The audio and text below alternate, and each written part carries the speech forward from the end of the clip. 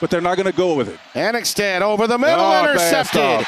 Picked off at the one yard line. It's Torchio, and he may light Illinois State up right here. oh, come on. Touchdown! 100 yards.